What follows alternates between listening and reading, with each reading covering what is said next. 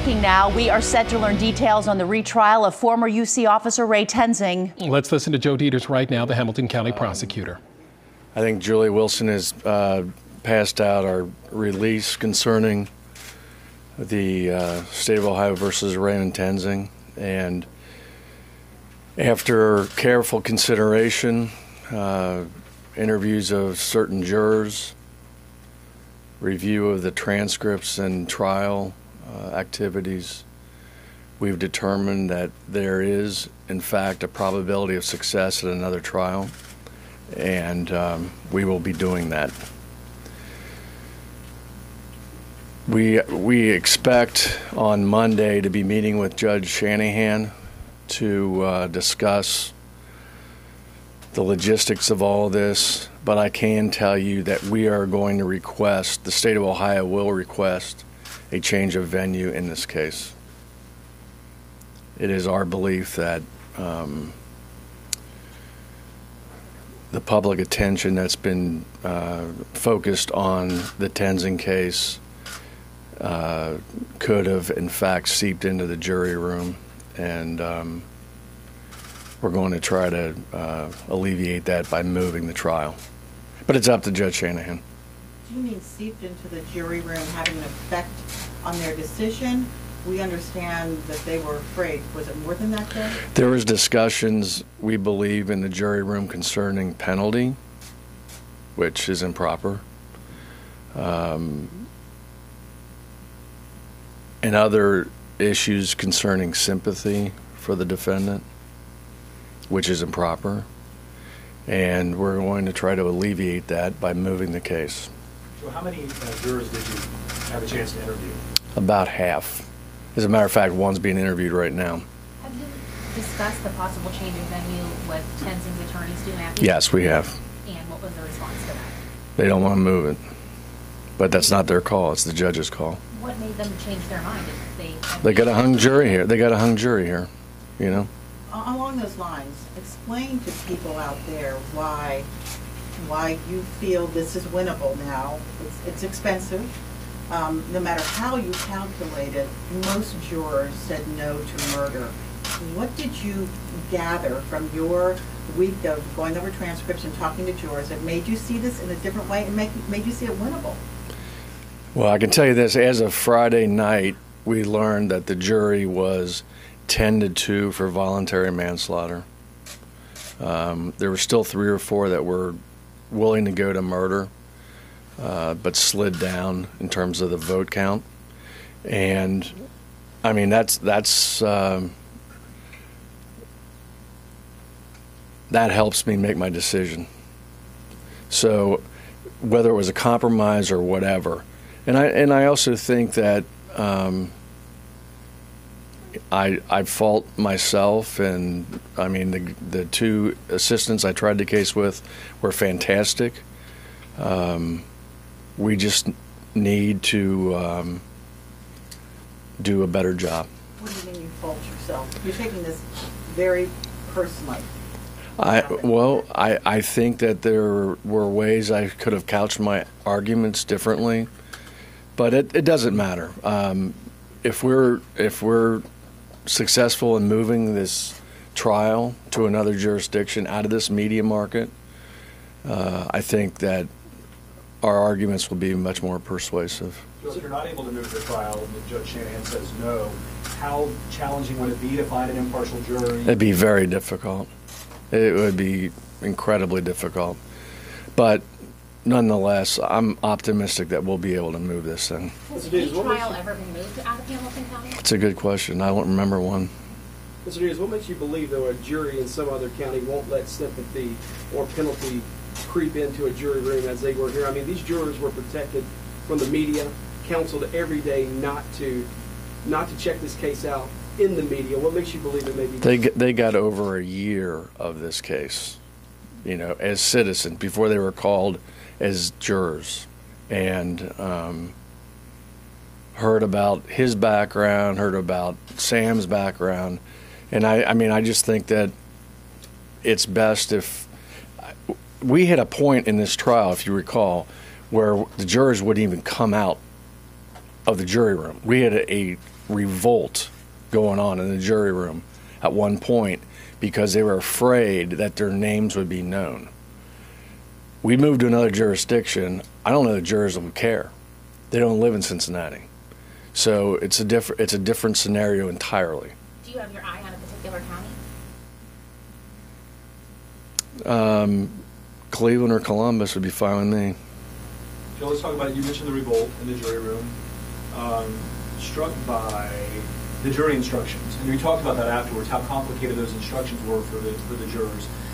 How do you, how do you fix that? Is there a way to do that? I think the the biggest snag was in the voluntary manslaughter. They also got an instruction on justification, and it kind of runs counter to that. I mean, a sudden fit of passion, um, and then you have justification. Well, it's one or the other.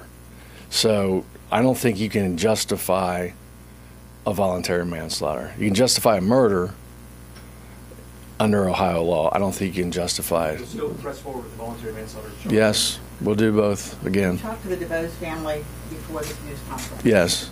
What did you say to them? What did they say? to I did not, um, my- our victim advocates talked to them. And they, they were, they just wanted to know that we were going to retry it. They wanted to know the charges that we're going forward on were the same, and they are.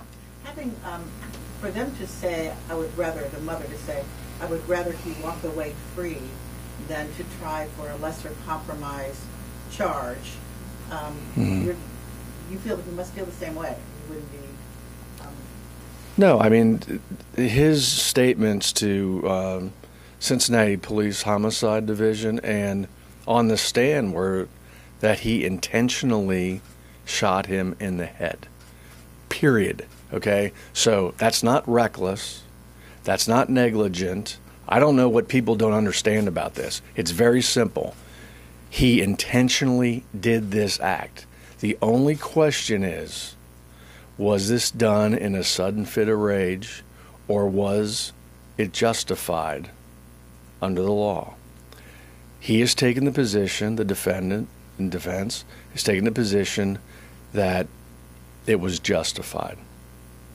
We disagree with that fundamentally.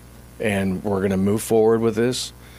We're going to get, hopefully, a new jurisdiction, uh, no offense, a new media market and just try this case with jurors who who aren't afraid to come out of the jury room at some point.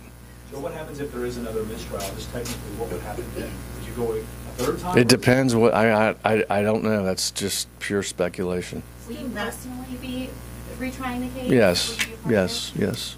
Stew Mathews has said, he has said, this isn't about justice. Hamilton County had a shot at justice, and the jury was hung. He says it's about politics and about pressure from the community. What do you say to him? He's just wrong. That's not true. That's not true. I mean, I will admit to you, I have met with people interested in this case from the community. Um, I've heard from both sides many times. I mean, just from around the country.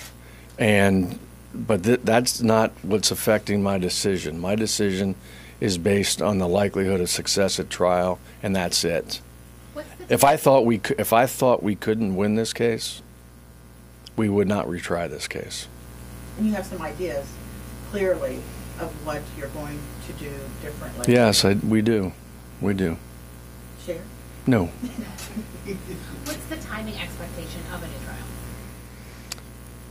uh, I'd like to do it um, no later than this spring, if possible. There's a lot of logistics involved. If we're successful in moving the trial out of Cincinnati, um, we're looking. At, there's a lot of issues. I mean, most courthouses are filled, and they got their jobs to do around the state, and we've got to find one that we can do it in. Joe, I know everybody's interested in what the, the jurors were talking about and were thinking about. 25 hours, a long deliberation process. Share some insight, if you can, about how difficult it was. I'm sure your hats off to the jurors who tried. Uh, they, they all stayed in that room for 25 hours. It's a long time. How difficult was it to you? I think it was really difficult. You know, you ask lay people to uh, get in this situation, you know, and when you get called to jury duty, sometimes it, you know, sounds glamorous and everything, and then you come down to it, and we got jurors crying in the jury box. It's it's a very difficult thing for lay people to deal with. We deal with it every day. It's quite different, but um, there's no question in my mind that issues were being discussed in there um, that should not have been discussed. I know Tarina has said that she's been reading some online forums and so forth, and th- th- she says some people feel Sam DuBose deserved to die because he had too many kids, or because he was black, or the lifestyle he lived. How do you how do you convince jurors to leave all that out? I mean, hopefully the goal would be to find people who don't know anything about the case. I, that's that's the likelihood, right? It is, but it it it absolutely crept it absolutely crept into uh, uh, the jury room, and um, you know, and and just to clarify, um, we got a clarification last week about the first vote. The first vote was, did he intentionally shoot him in the head? And that was yes. Unanimous. Then they have to go on. Then they go to justification. justification Correct. Correct. So do you think a Cuyahoga County jury would not be, would be less uh, emotional, less feel, less just deal with the facts because they've been removed by everything Hamilton County has experienced? I think so. I mean, I think when you see people, you know, protesting daily and you see people um, one way or the other demanding some type of verdict, I think it puts pressure on people. And they live in that community, I think it's different.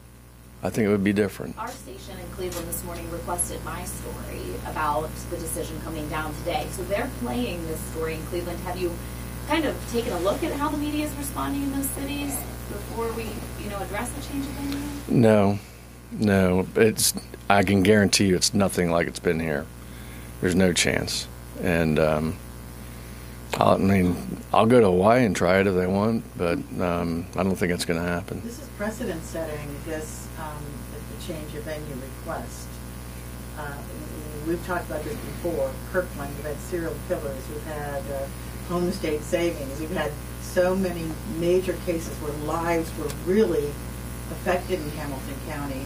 So this is um, a very unusual move for your office.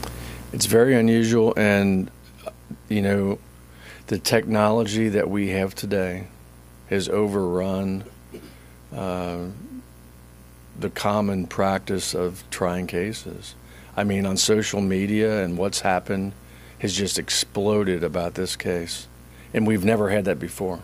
We just, it's it's a fact. We've never had that before, and um, you know, w- when we did the Kirkland case, he killed those four girls. Um,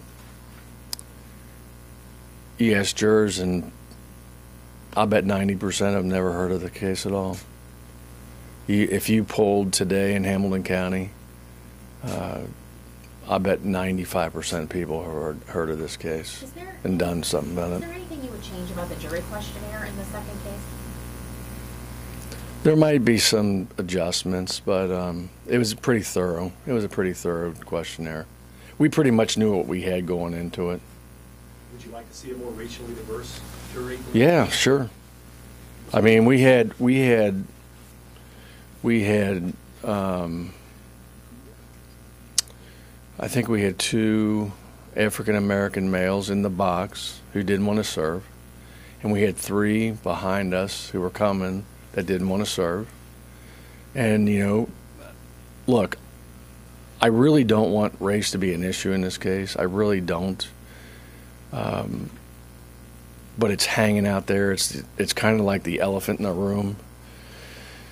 And uh, I just I just I just want people to follow their oaths, do what the judge asks them to do, and if they do that, I think we have a probability of success at trial.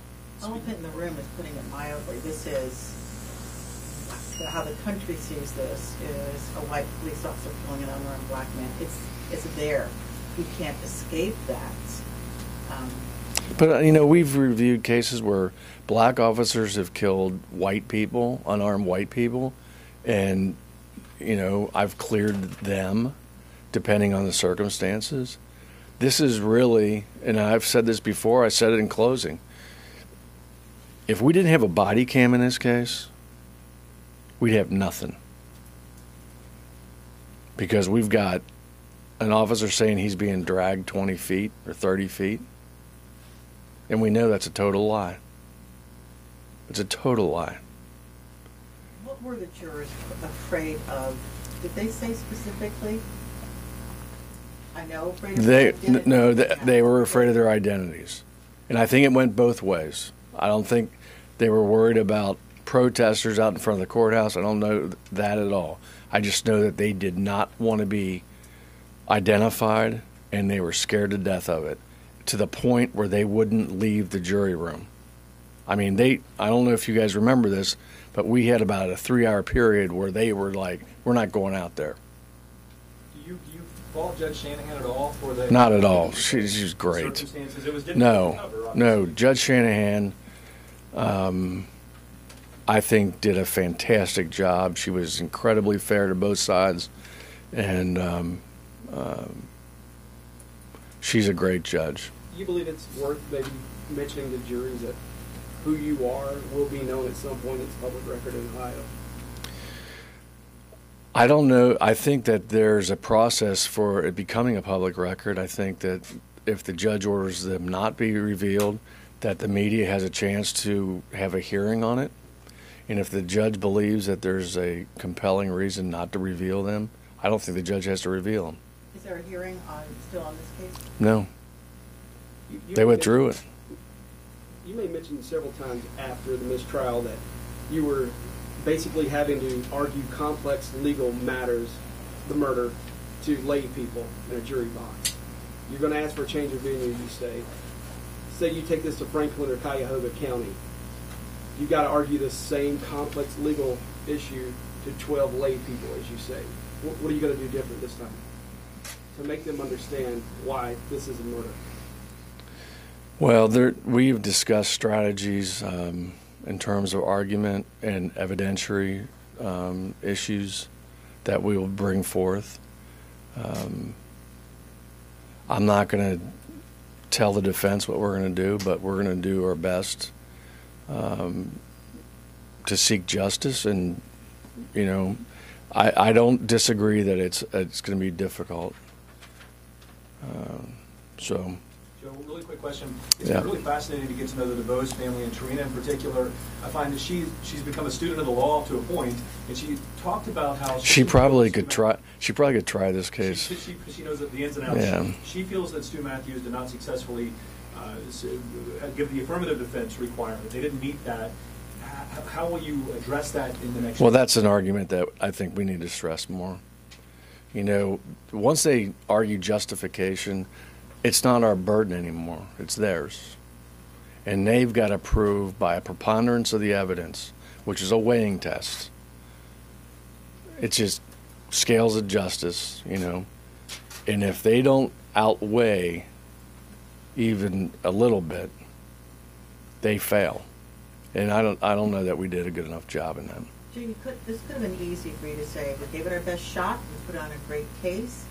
How, um, how difficult was it for you, or was it, to step back and look at this and say, it's gonna be hard, um, it's gonna be expensive, we're going to have to rework our presentation, but I feel this is right. And I'm, I'm not saying that's what you said, but it, it, you're, you're the decider in this, and you had to, you had a lot to consider and a lot to weigh personally as well. It, it's very rare that we retry these kind of cases. I mean, it is rare. But the vote totals, and after talking to the jurors, uh, convinced me that we could win this thing. It would be successful. I don't, I don't like to use the term win because it sounds like it's some athletic event. We are seeking justice. We are, it's my belief that Sam DuBose was murdered. Period. And You know, Sam, according to accounts, because I never knew him, was a good guy. He was in trouble a lot, you know, like a lot of people are. And but that doesn't make his life any less relevant or have less value. And as I've said a hundred times, in the country that I love, you don't get shot in the head for getting pulled over on a traffic stop. And that's what happened here. And I it it troubles me deeply that this happened. And I've said this also a lot. You know, there's bad prosecutors, there's bad reporters, there's bad judges. The measure of an institution is not that you have someone bad in your group. The measure of the institution is when you have someone that's not right, how you deal with it. And we're dealing with it. And I'm going to deal with it. Your tone is different today. Is this humbling? What have you learned from all of this? Um, not much. I mean, I've learned a lot from juror interviews and things like that, but um, we're we are determined um, to improve what we did with the last jury, and hopefully um, get justice for our community. Deb touched on it. Change of venue is very expensive. What does the case cost so far? I, I, I have no idea. I mean, obviously that's got to be a consideration for the judge. I mean, it is, but I mean, things are expensive in government, you know, they are. And um, I'm sure it's going to be expensive for your TV stations to drive to Cleveland. Joe, do you have any idea? a room. Uh, qu- do you have any idea, Joe, about um, when, when Ray Tensing watched the video, the body cam, af before giving the statement to Cincinnati police investigators?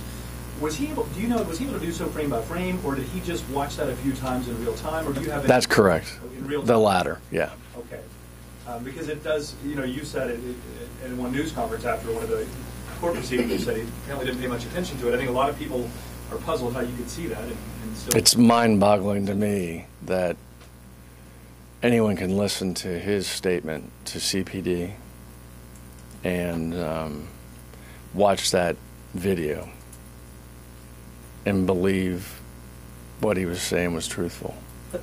And but everybody wants to cloud it under, oh, it's a split second decision. I don't know what's happening. It was perceived, you know, it changed about three times.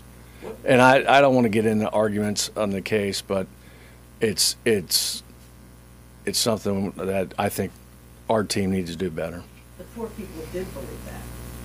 Poor Yeah, the jury saw correct. testified. Well, we had ten to two on Friday night for voluntary manslaughter, and I think that was moving towards some kind of compromise. There were three or four who wanted murder, so you know, At the end of the day here, Joe, do you think, I mean, like UC's made big changes, um, obviously in policing, and does this just move the ball forward on that front, that training is critical? I think I think UC's made some great changes. I mean, the, the people they've brought in are very good professional law enforcement people, and I think I think they're doing a really good job. You still comfortable with? Yes, I having a am. Yep, department under I am.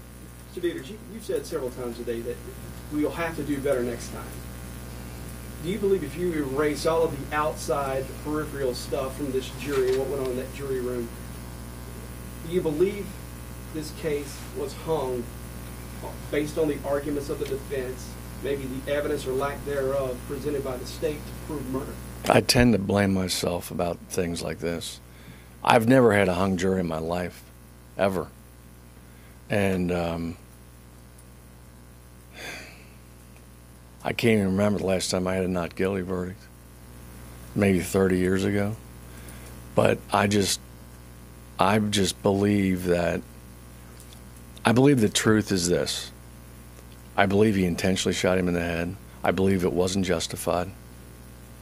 And I believe that this community, not the DuBose family, this community deserves justice, and that's what we're going to do. And I'm asking though, you believe you all won or lost on the merits alone, the evidence alone, and the arguments made in that courtroom? If you erase everything else that you believe influenced this jury, do you believe do you believe you did enough to win, if you want to call it that, or, or to convict Ray Tensing? I think we did. I think we did, but I think we could do it better. And um, I don't want to have a situation where we got a jury that won't come out of the jury room because they're afraid their identities will be known in the community. And that's what we had here in Cincinnati. That's why we're asking for the change of venue, and hopefully we'll get it. You don't Okay, think, do go you ahead. think though, if you move this to anywhere, that the media won't ask again for these questionnaires? Well, they can ask for it, not- but they're not going to. But these, but if they, let's say they choose jurors out of Lucas County, in Toledo, they're those people. They don't know anything about this case. But that's They don't know. In reality, that's, you're just guessing right now. Well, I mean, I don't think that case, this case, be outside of Cincinnati. I mean, I know it's gotten national coverage, but it's not like here. So How many jurors again did you uh, interview? And, about half, Deb. okay. And you know need to do to interview the rest, or We have, we only interviewed the ones that were willing to talk to us. They were given us, they gave, we were, they were given us, they were given our numbers to call if they wanted to talk. they give you some ideas?